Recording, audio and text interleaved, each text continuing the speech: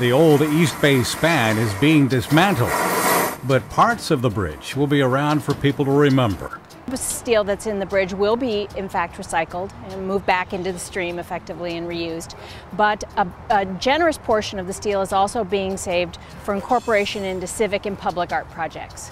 For artists and other creative professionals to envision new ways to bring the bridge and the history of the bridge forward into the future. This is a program being sponsored by the Oakland Museum of California. They're the nonprofit sponsor of the program, and so all the information about it is available on the Oakland Museum of California's website under Bay Bridge Steel. It's uh, about 0.01% of the steel in the bridge is the amount of steel that will be salvaged for the program, but that amounts to more than 450 tons of steel. The steel that we'll be distributing will be sandblasted, uh, remediated to a specific standard so that people can understand uh, what they're dealing with when they get it, and that the surface material will all be removed.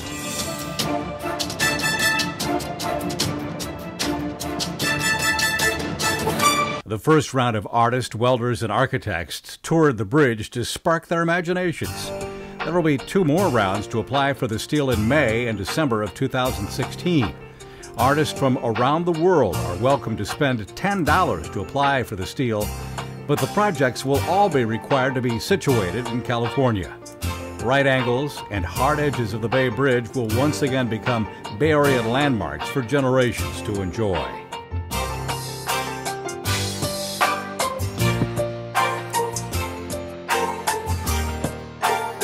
When I, I heard that, that the steel was going to be available, I wanted to take advantage of that and see if there was a way I could incorporate some of the story, me being a former steelworker as well, some of the story of this bridge into some art as well. It's very challenging to come to terms with something that's so incredibly loaded with history. It's kind of like a, a bridge god. Coming up to, and then I am a little artist, like, what am I going to do with this thing, right? This is the touchdown of the Old Bay Bridge where they're actually dismantling and loading material in. And there's a there's a barge location here where they're dismantling some of it. And the really cool thing is our site is literally not across any significant roads and less than a mile from all those locations. So we're able to bring these giant 200,000 pound pieces directly to our site on giant oversized trucks. The Hyphae Design Lab in Oakland had already been working on an intermodal facility at the Port of Oakland, where truckers, longshoremen, and tourists will one day converge.